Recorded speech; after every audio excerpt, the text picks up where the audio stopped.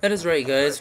Welcome to the new age of Call of Duty, where everybody camps behind a shield and everybody does well because of it. Well, it's not not really. I mean, we still have to wait a, a little less than two weeks for Advanced Warfare, about a week and a half, in fact, before we finally get what we've all been waiting for, which is the new age of Call of Duty. For most people, some people, that's rushing. For for but people, for people like me, that's camping. And today, guys, I have something different for you. So, I, I mean, I know you guys know that I'm mainly a demolition player, but today I decided to switch it up and try to go for that uh, that nuked out medal in that nuked out medal in uh, free for all. You can only get you have to get 30 gun kills, basically get a nuclear, but you, in free for all, which is pretty hard to do because if you get one, if you get even one kill, then you get then you get killed, then like let's say you get one kill off the right off the start and then you get killed then you, you only have, there's only 29 kills left to go and you won't get the, your nuclear then so that's quite unfortunate so that's one of the reasons why it's pretty hard to get in this game mode but unfortunately guys I don't get I don't get the new the nuclear I die a really stupid way actually I mean I was all set up too and I, I died on a 22 streak so I thought for sure I was gonna get the nuclear I mean guys I have a pretty good setup here like I have I have my a new MK class because this this is my free for all class because uh as you know, I'm not running silencer or anything.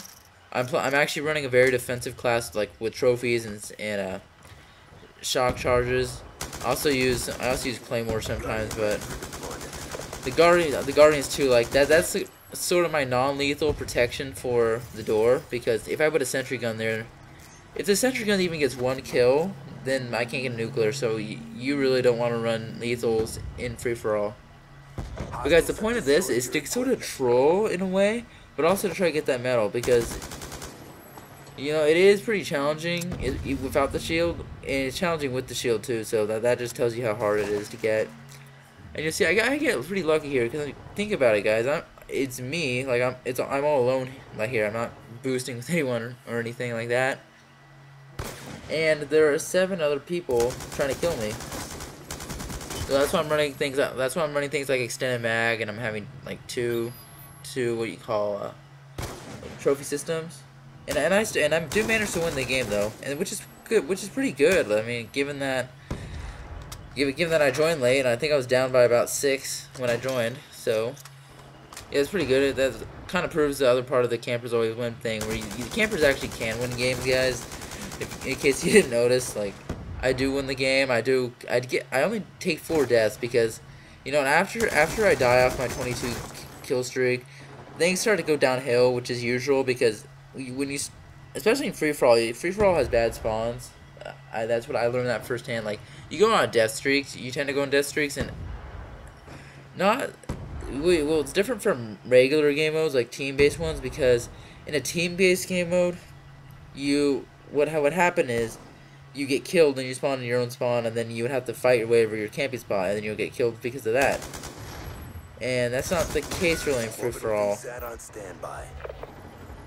In free for all, like you you you don't have that team spawn, so you just spawn wherever the game places you, and that's often near an enemy. Like I've literally killed like I've literally killed uh, like a sniper one time in like a standoff game I was playing, and then he spawned literally 10 feet away from me and, and shot me in the back.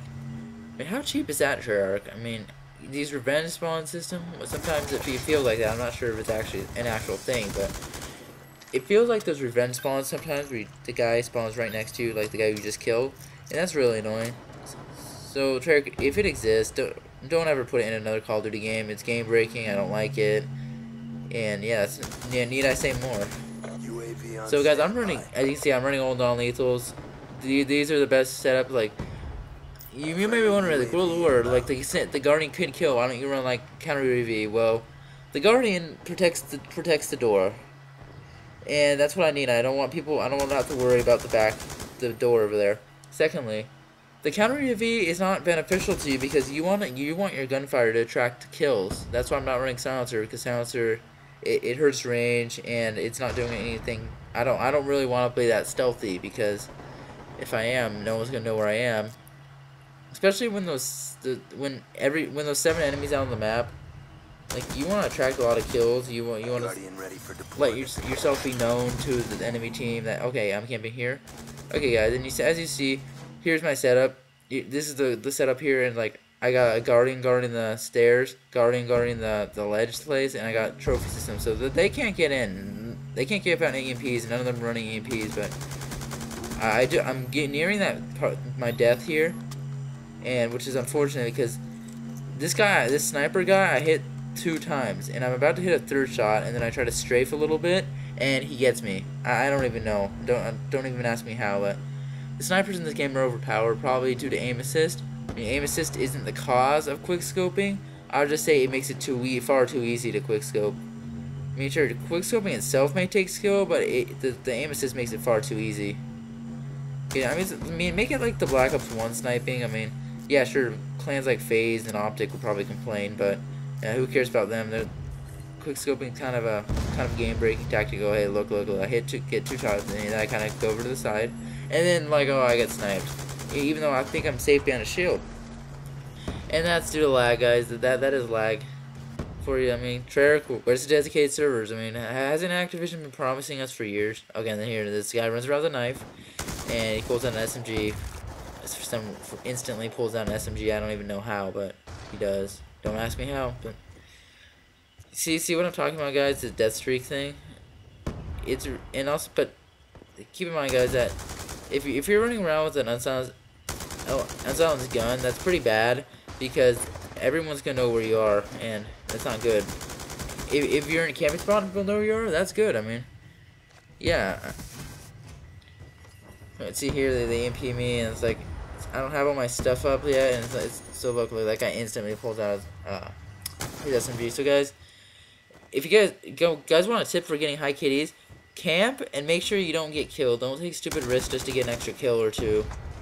Or don't don't run out for any reason unless you have to get like ammo for like it's from a scavenger pack that's like a little bit out the out of your camping spot. But because if you take a death, you're gonna go on a death streak most likely, which is unfortunate. But that's how Call of Duty works. That's how it always will work.